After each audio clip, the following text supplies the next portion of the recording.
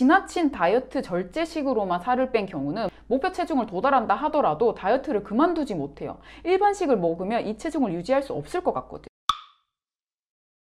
안녕하세요. 이지은 다이어트의 이지은입니다. 오늘은 마이크가 생겼습니다. 훨씬 깨끗하게 잘 들리죠? 다이어트를 하다 보면 피할 수 없는 술자리가 생기기 마련입니다. 보통 친구들과의 약속, 외식, 회식, 데이트 등 우리는 다양한 이유로 술을 먹죠. 물론 안 먹을수록 가장 좋지만 우리 약속과 모임을 단절하고 아예 나가지 않으면 사회생활에 문제도 생기고요. 그것보다 지나친 절제는 본인이 스트레스가 쌓여서 폭식을 유발하거나 결국에는 다이어트를 포기하게 만들어 버립니다. 현명한 다이어터는 술자리를 두려워하지 않아요. 술을 즐기면서도 얼마든지 다이어트가 가능하기 때문입니다. 다이어터가 찌고 술자리 즐기는 방법에 배우기에 앞서 여러분들이 궁금한 게 있을 겁니다. 술은 살이 찔까요? 일단 술이 생각보다 칼로리가 높은데 도수가 높을수록 칼로리가 높다고 보시면 됩니다. 맥주는 500 한 잔에 200칼로리 정도 되고요. 소주는 한 병에 600칼로리나 됩니다. 상당하죠? 근데 사실 알코올 자체가 지방으로 전환되는 비율은 아주 낮습니다. 하지만 술은 살이 찝니다. 명백하게. 제가 다섯 가지 이유를 정리해 봤어요.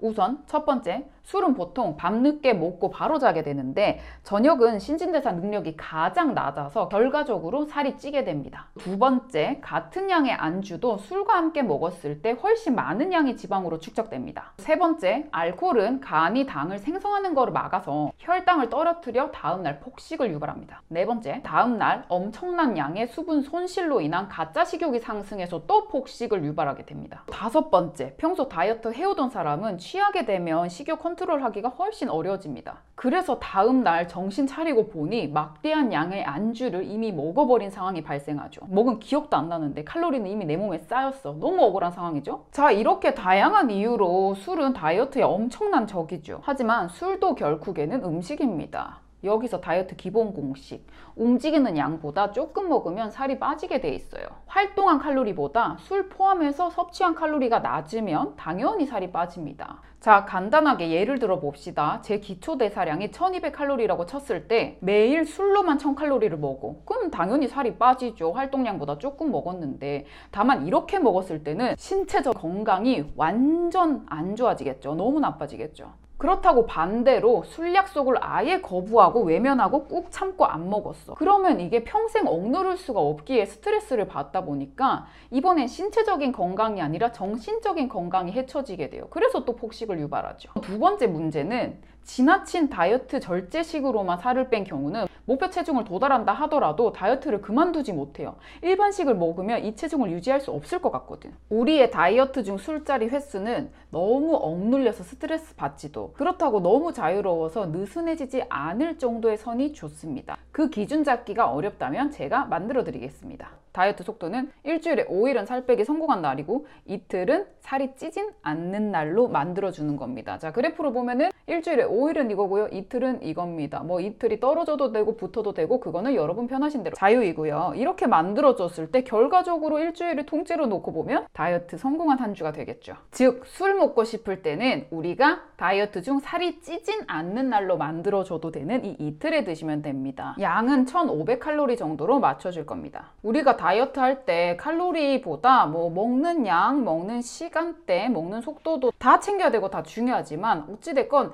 자유식이 들어가는 날 이걸 적당히 살이 찌질 않을 만큼 조절을 하려면 칼로리 기준으로 양을 선택하시고 거기에 맞춰 드시는 게 좋아요. 이제 기준은 여러분들이 잡으시면 됩니다. 아, 나는 술이 너무 좋아 미치겠어. 일주일에 두 번 허락한 이 날은 술을 엄청 많이 먹을 거야 하면은 1500칼로리 모두를 술로 채우시면 됩니다. 다만 아무것도 안 먹고 술로만 1500칼로리 정도 채우면 다음날 폭풍 허기와 식욕과의 사투를 벌여야 되기 때문에 다음날 오히려 폭식을 할 수 있게 돼서 결과적으로 다이어트를 망칠 수 있죠. 최대한 술을 즐기되 술 먹은 날과 그 다음날 내 식욕을 상승시키지 않는 선에서 드시는 게 가장 현명한 방법입니다. 거듭 말하지만 이게 정답은 아니에요. 본인이 제가 앞에 말한 술 1500칼로리로 채우고 싶은 사람이라면 다 채우고 대신 다음날에 폭풍 허기와 식욕을 참으시면 됩니다. 그게 더 좋으시다면. 그리고 참을 자신이 있으시다면. 자, 그럼 본론으로 들어가서 식욕을 차분하게 달랠 수 있는 술자리 즐기는 방법에 대해 자세하게 알려드릴게요. 두 가지로 나눠서 설명드릴 거예요.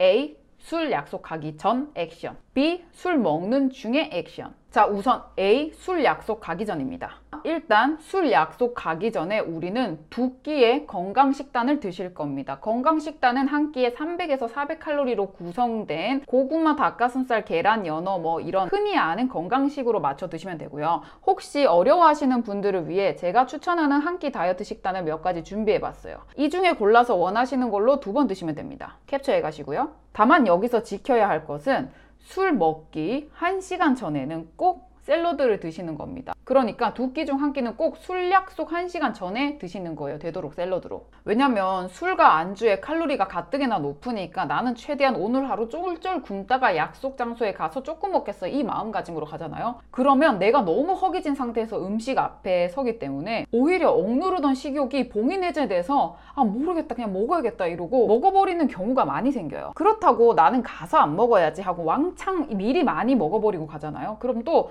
너무 배부르니까 내 몸이 이미 둔한 거야. 그래서 가서 계속 먹게 돼요. 이미 어느 정도 둔한 상태에서는 계속 추가로 먹어도 똑같거든. 그러니까 술 약속 가기 1시간 전에 건강식 꼭꼭 씹어 먹어서 내 몸이 너무 배고프지도 배부르지도 않은 clean한 상태를 유지해 주는 겁니다. 마음이 평온한 그 상태. 그 상태로 약속 장소 가면 적당히 조절해 먹기가 훨씬 쉬워요. 자, 그럼 이제 B, 술 먹는 중에 지켜야 할 것들입니다. 일단 여러분들이 술자리 전까지 제가 추천드린 대로 식단을 드셨다면 한 800칼로리 정도 드신 상태이고요. 그러면 1500에서 800 빼면 우리에게 남은 칼로리는 700칼로리입니다. 이 700칼로리로 현명하게 술이랑 안주 즐겨주시면 되는데 어떻게 먹느냐? 이거는 주종과 안주 메뉴에 따라 달라집니다. 여러분들의 취향 따라서도 달라져요. 그건 뭐가 좋 냐면 그냥 여러분들이 좋은 거 칼로리 선에 맞춰서. 예를 들어서 술 약속이 치맥이다. 그러면 치킨 한 조각에 300칼로리 정도 맥주 500 한 잔에 200칼로리니까 치킨 한 조각 맥주 두 잔. 이렇게 드셔도 되고. 어 나는 치킨을 더 먹고 싶은데 하면 치킨 두 조각에 맥주 반 잔 드시면 되죠 뭐 많이 드시는 삼겹살에 소주 드실 때도 비슷한 방법으로 하면 되는데 어느 정도 약속 당일에는 술이랑 안주 뭐 드실지 정해지니까 인터넷에 칼로리 미리 검색해서 아 이 정도 양의 이 정도가 700칼로리 선이구나. 그럼 나는 이만큼 즐겨야겠다라는 마음을 먹고 그 자리에 가면 돼요. 그냥 막연하게 나 절대로 많이 안 먹을 거야. 조금 먹을 거야. 이 마음으로 가면은 무조건 많이 먹게 돼요. 근데 이따 술자리 가서 치킨 한 조각에 맥주 두 잔 오케이. 이만큼 먹고 오겠어 하면은 그만큼 먹고 오기 생각보다 쉬워요. 근데 여기서 당연히 안주는 튀김 종류보다는 샐러드 과일 종류가 좋겠죠. 그건 뭐 인터넷에 많이 나오잖아. 다이어트 중 추천하는 안주. 이렇게 하면 많이 나오는 거 그거 드시면 됩니다. 다만 평생 샐러드 먹으면서 살 뺄 수는 없잖아요. 이런 날은 먹고 싶은 메뉴를 적당히 먹는 연습을 해야 됩니다. 왜냐면 메뉴도 중요하지만 메뉴보다 중요한 건 양이니까요.